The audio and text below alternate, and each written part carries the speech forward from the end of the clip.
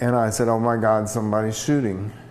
I ran to my safe where I keep my gun.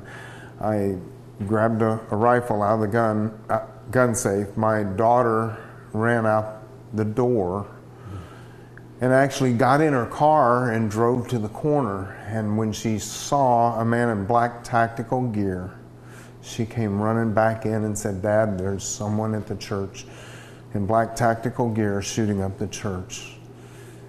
I didn't have any time because I kept hearing the shots one after another, very rapid shots, just pop, pop, pop.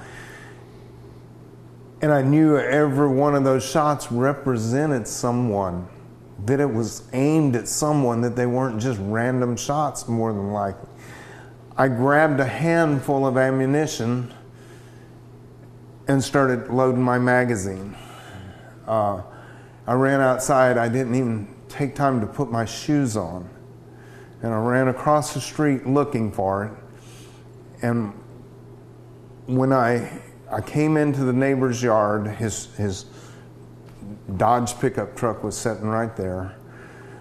And I noticed an SUV, a gray SUV, sitting across from the church, or in front of the church, across the street from, from my neighbor's house, with the driver's side door open in the middle of the street. And I didn't know it at the time, but the engine was running.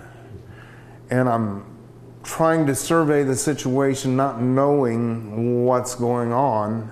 And then I saw a man in a black tactical helmet with a sun with a dark shaded helmet on, and uh, obviously looked to me like it, it was bulletproof vest. And he had a pistol in his hand, and we exchanged gunfire.